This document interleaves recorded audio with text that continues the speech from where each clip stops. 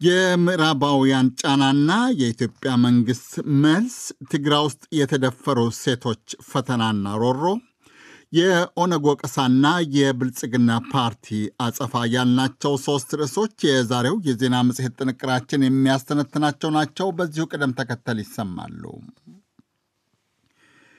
የኢትዮጵያ መንግሥት ትግራይ ውስጥ በተደረገው ጦርነት ለችግር ለተጋለጡ አራት ነጥብ ሁለት ሚሊዮን የክልሉ ነዋሪዎች ሰሞኑን ምግብና ምግብ ነክ እርዳታ መስጠቱን አስታወቀ። የኢትዮጵያ ውጭ ጉዳይ ሚኒስቴር በሳምንታዊው ጋዜጣዊ መግለጫ ዛሬ እንዳስታወቀው በትግራዩ ጦርነት ሰበብ ምዕራባውያን መንግስታት ላነሷቸው ጥያቄዎች መንግስት መልስ መስጠቱን አስታውቋል። የኢትዮጵያ መንግስት መልስ በመስጠቱ ምዕራባውያን የሚያደርጉት ተጽዕኖ፣ ግፊትና የማዕቀብ ጫናን አምባሳደር ዲና ሙፍቲ ባዶ መዝሙር ብለውታል። ቃል አቀባይ ዲና ችግሩ ለወደፊቱ ይቃለላል ይላሉ።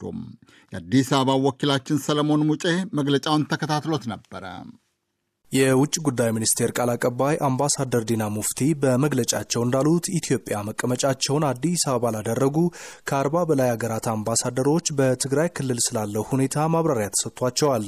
የክልሉን የአሁን ነባራዊ ሁኔታ በተመለከተ ሲገልጹም የትግራይን ወቅታዊ ሁኔታ በተመለከተ በዚህ ሳምንት አራት ነጥብ ሁለት ሚሊዮን ዜጎች ምግብና ምግብ ነክ እርዳታ አቅርቦቶችን ያገኙበት ሁኔታ ነው ያለው።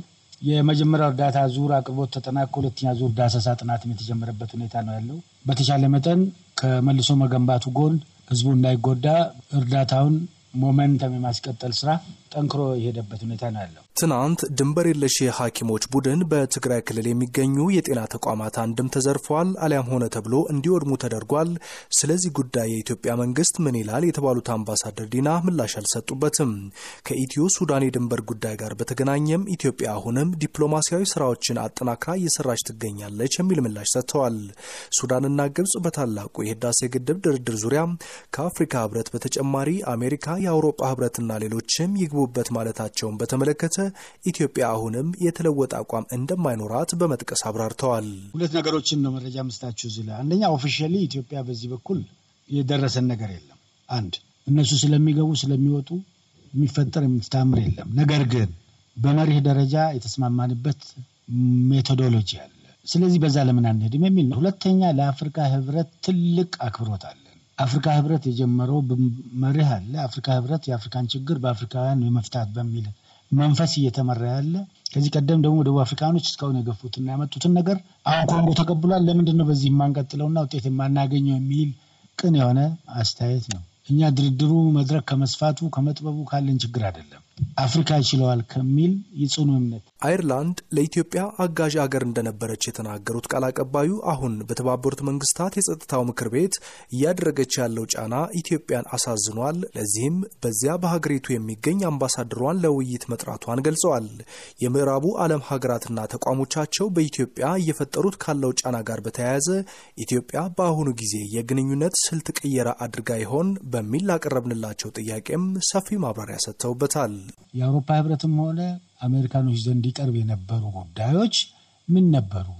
ቅሬታቸው ሶስት ነገሮች ናቸው። አንደኛ የህግ ማስከበር ስራ ሲሰራ በነበረበት የሰሜኑ ሀገራችን ክፍል አካባቢ የህግ ማስከበሩ ስራ ከተፈጸመ በኋላ ካለቀ በኋላ ወደዛ መግባት አልተፈቀደልንም ነው። ዘግታችሁብናል፣ ህዝቡ ተቸግሯል፣ ተርቧል፣ የተፈናቀላለ ሱዳን ገባለ ገብተን እንዳራዳት ተደርገናል ነው ያሉት።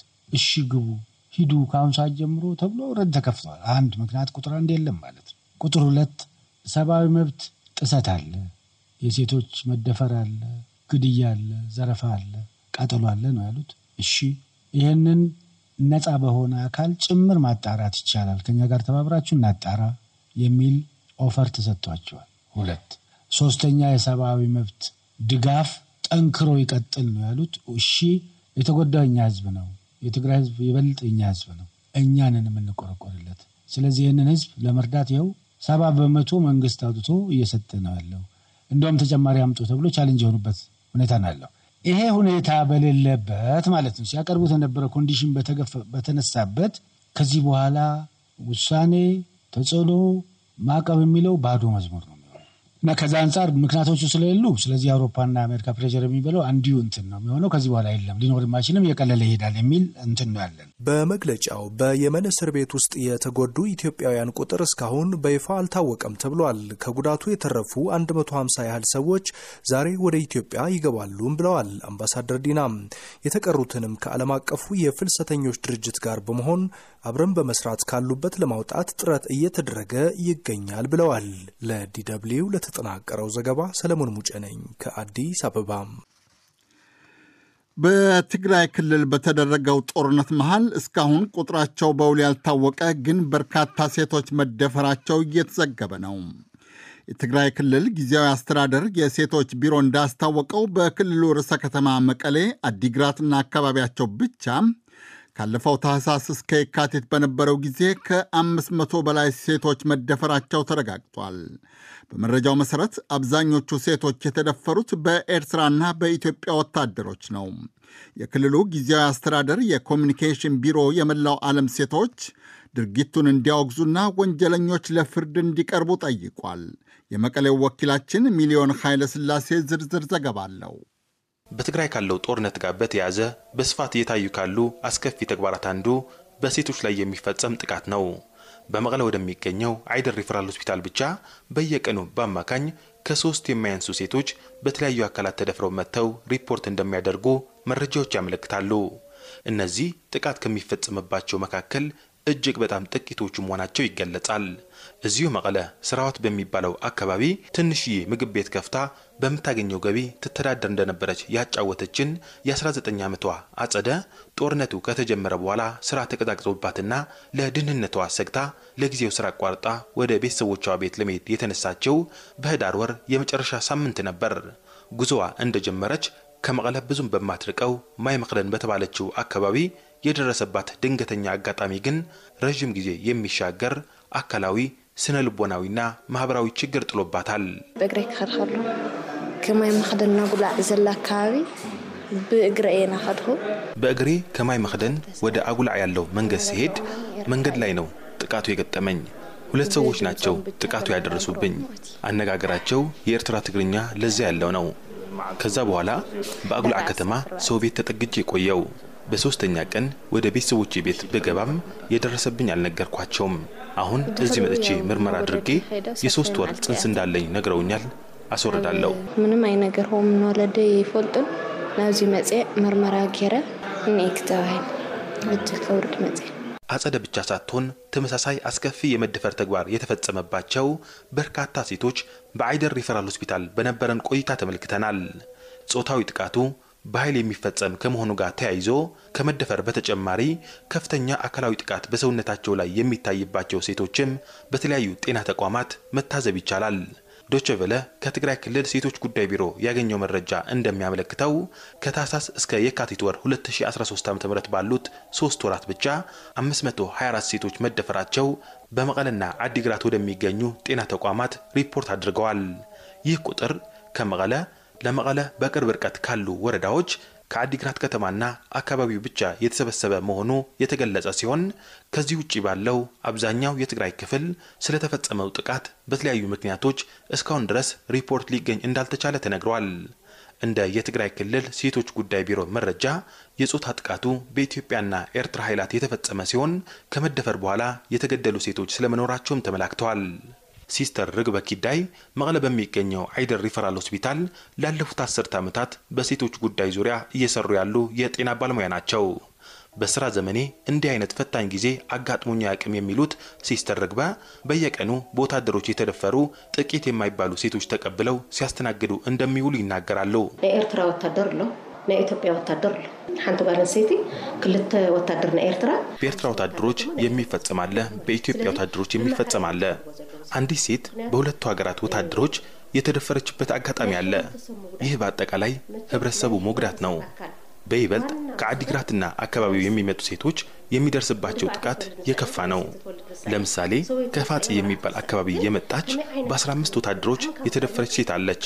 ይህች ሴት አካሏ ሁሉም መንቀሳቀስ የማይችል ሲሆን የአእምሮ መቃወስም ገጥሟታል። ካብ ፋፅ ዝመፀት ብ15 ወታደር ዝተደፈረት እያ ኣካላ ክንቀሳቀስ ይኽእል እዩ ርእሳ ብትክክል ክሓስበ ይኽእል እዩ ለሚፈጸሙ ጾታዊ ጥቃቶች ፍትህ ማጣት ደግሞ የተጎጂ ሴቶች ቤተሰቦቻቸው እንዲሁም አጠቃላይ ህዝብ ራስ ምታት ነው። የትግራይ ክልል ጊዜያዊ አስተዳደር በክልሉ በሴቶች ላይ እየተፈጸመ ያለው ጥቃት አሳሳቢ እንደሆነ ይገልጻል። የጊዜያዊ አስተዳደሩ ኮሚኒኬሽን ቢሮ ኃላፊ ወይዘሮ እቴነሽ ንጉሰ እያየህ በቸልተኝነት የምታልፈው ከሆነ ነገሩን ማበረታታት ይመስላል እና ይህንን አጥብቀን እንቃወመዋለን። በዓለም ያሉ ሴቶች ወገኖቻችን ይህንን ነገር አጥብቀው እንዲያወግዙት እና እንዲኮንኑት። ለምሳሌ በአይደር ሆስፒታል ብዙ ጥቃት ተፈጽሞባቸው አልጋ የተኙ እህቶቻችን አሉ። በጣም ያሳዝናል። ይህንን ደግሞ የጊዜያዊ መስተዳድሩ አጥብቆ ነው የሚኮንነው። ይሄ ነገር ትክክል አይደለም እና እነዚህ የፈጸሙ ከድርጊታቸው መቆጠብ እንዳለባቸውና ለህግ መቅረብ እንዳለባቸው ነው አቋም ያለው። ለዲ ደብልዩ ዘገባ ሚሊዮን ኃይለስላሴ መቀለ። በትግራይ ክልል የሴቶች መደፈርን የሚመለከተውን ዘገባ ከመቀሌ ሰማን። ወደ ዕለቱ የመጨረሻ የዜና መጽሔት ጥንቅራችን እናልፋለን። የኢትዮጵያ ገዢ ፓርቲ የብልጽግና አጸፋና የተቃዋሚዎች ክስ የሚል ነው ርዕሱ። የኢትዮጵያ ገዢ ፓርቲ ብልጽግና ተቃዋሚዎቹን በሰበብ አስባቡ እያዳከመ ነው በማለት የሚሰነዘርበትን ወቀሳ መሰረተ ቢስና ተቀባይነት የሌለው በማለት ነቀፈው። በገዢው ፓርቲ ላይ ተደጋጋሚ ወቀሳ ከሚሰነዝረው አንዱ የኦሮሞ ነጻነት ግንባር ኦነግ ነው። በአንጋፋው ፖለቲከኛ ዳውድ ኢብሳ የሚመራው የኦነግ ቡድን ተቀናቃኙ የግንባሩ አንጃ ሰሞኑን በጠራው ጉባኤ አዲስ አመራር ማዋቀሩን የገዢው ፓርቲ ሴራ ብሎታል። የብልጽግና ፓርቲ የዲሞክራሲ ስርዓት ግንባታ አስተባባሪ ቢቂላ ሁሪሳ ግን ክሱን በማስተባበል ፓርቲያቸው ጠንካራ ተፎካካሪዎች እንዲኖሩ ፍላጎቱ መሆኑን ተናግረዋል። ስዩም ጉየቱ ከአዲስ አበባ ዝርዝር ዘገባ ልኮልናል። ኢትዮጵያ ወደ ዴሞክራሲያዊ የሀገረ መንግስት ግንባታ ለመሸጋገር የዓመታት ሙከራና ጥረቶች ብታደርግም እስካሁንም የብዙዎችን ይሁንታ ያገኘና ለዴሞክራሲያዊ ስርዓት መሰረት የሚጥል ነፃና ፍትሐዊ ምርጫ አከናውና አታውቅም በሚለው ሀሳብ በርካቶች ይስማማሉ። ዘንድሮም ሀገሪቱ ለምታከናውነው ብሔራዊ ምርጫ 47 የፖለቲካ ድርጅቶች ተመዝግበው ለመፎካከር ቢሰናዱም በሂደቱ ዴሞክራሲያዊነትና አሳታፊነት ላይ ከወዲሁ ጥያቄ ያነሱ ፖለቲከኞችና የፖለቲካ ድርጅቶች አልጠፉም። ምርጫውን ዴሞክራሲያዊ ለማድረግ በሂደቱ ቁልፍ ሚና ያለው ገዢው የብልጽግና ፓርቲ ግን በመሰል ሀሳቦች አይስማማም። የፓርቲው ከፍተኛ አመራርና በሚኒስትር ማዕረግ የዲሞክራሲ ስርዓት ግንባታ ማዕከል አስተባባሪ ዶክተር በቀላ ውርሳ እንደሚሉት የገዢው ፓርቲ ፍላጎት ጠንካራና ተፎካካሪ የፖለቲካ ድርጅቶች እንዲኖሩ ነው። ኢትዮጵያ ውስጥ እውነተኛ የዲሞክራሲ ስርዓት መሬት እንዲይዝ ለማድረግ እና የፖለቲካ ባህላችን ዘመናዊ እንዲሆን ለማድረግ በጣም ከፍተኛ ዋጋ ተከፍሏል። እዚህ ሀገር ላይ ዋጋውን በመክፈል ሂደት ውስጥ የብልጽግና ፓርቲ ግንባር ቀደም ነው ብለን ነው የምናስበው። ከውጭ ሀገር ተጠርፈው የመጡ በጣም በርካታ የፖለቲካ ፓርቲዎች አሉ። ይሄ በከፍተኛ ሁኔታ የተለያዩ ጥረቶች ተደርጎ ህዝብ የተለያየ የፖለቲካ አማራጭ የፖሊሲ አማራጭ እንዲኖረው ለማድረግ በኢትዮጵያ ውስጥ እውነተኛ የዲሞክራሲ ስርዓት እንዲሰፍን ለማድረግ የተወሰነ ውሳኔ ነው። የፈጠረውን እድል የተጠቀሙ ፓርቲዎች የራቸውን ያህል ከወቀሳና ትችት ባህል መውጣት ያቃታቸው ፓርቲዎች አሉ። ይሁንና ገዢው ብልጽግና ፓርቲ በተለያዩ መንገዶች ተቀናቃኝ የፖለቲካ ፓርቲዎች ላይ የማዳከም ስራን ይሰራል የሚሉ አሉ።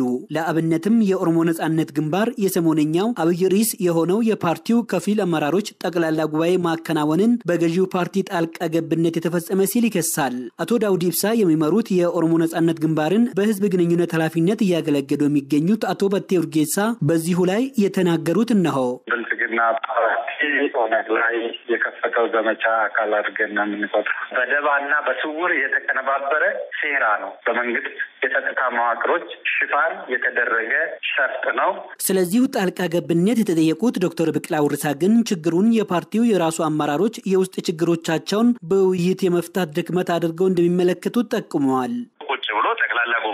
ጠርቶ ተወያይቶ መፍታት ሲገባቸው እከሌ የሚባል ፓርቲ ነው እጅ እያስገባ የሚበጠብጠኝ የሚል የደካማ ፓርቲዎች መገለጫ ስለሆነ ብልጽግና ፓርቲ በፍጹም በየትኛውም ፓርቲ የውስጥ እንቅስቃሴ ውስጥ እጁን አያስገባም። ወደፊትም ፓርቲዎች እንዲጠናከሩ እንዲኖሩና ኢትዮጵያ ጠንካራ የፖለቲካ ፓርቲዎች እንዲኖሯት ምኞቱ ነው። አቶ ዳውድ የሚመሩት የኦሮሞ ነጻነት ግንባር ጉለሌ የሚገኘው የፓርቲው አብይ ጽህፈት ቤት እንዳይገቡ በፖሊስ መከልከላቸውን ጨምሮ የተለያዩ ጫናዎች እንደሚደርስባቸው ለሚያነሱትም ተደጋጋሚ አቤቱታ ዶክተር ብቅላ የሰጡት ምላሽ እንዲህ የሚለው የጸጥታ ተቋማት ጸጥታን ተቋማትን የሚጠብቁበት ጸጥታና ደህንነትን የሚያስከብሩበት የራሳቸው አሰራር ይኖራቸዋል። ነገር ግን ብልጽግና ፓርቲ በምንም አይነት መንገድ በየትኛውም ፓርቲ የውስጥ ጉዳይ ገብቶ ጥበቃ ስርዓቱ ላይ ጫና የመፍጠር የውስጥ አሰራራቸው ላይ ጣልቃ የመግባት ምንም አይነት መንገድ የለም። ብልጽግና ፓርቲ በፍጹም በእንዲህ አይነት ጉዳይ ላይ አልተሳተፈም፣ አሁንም አይሳተፍም፣ ወደፊትም እንዲህ አይነት ነገሮችን አያደርግም።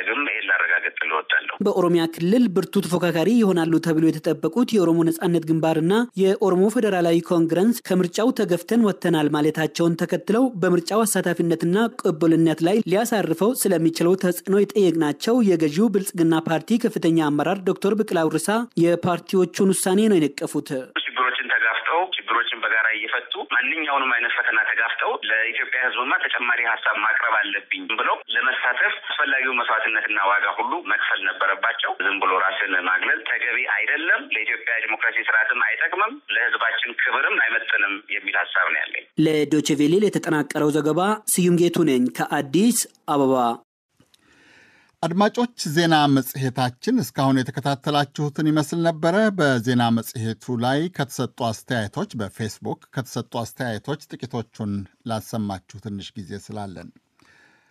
አሊ ሃሞንድ በተለይ ሰንዓ የመን ውስጥ ስለተገደሉ ወይም ስለሞቱ ኢትዮጵያውያን ስደተኞች በተላለፈው ዜና ላይ ከውስጥ የተቃጠሉትን ሁቲዎች የት እንደወሰዱ ማንም የሚያውቅ የለም ይላል አሊ ሃሞንድ። ከዚህ በፊትም እዚያው ሰንዓ እንደሚኖርና ስለተቃጠሉት ኢትዮጵያውያን ወይም ስለተጎዱት ኢትዮጵያውያን በተከታታይ አጫጭር መረጃዎች እየሰጠን ነበረ።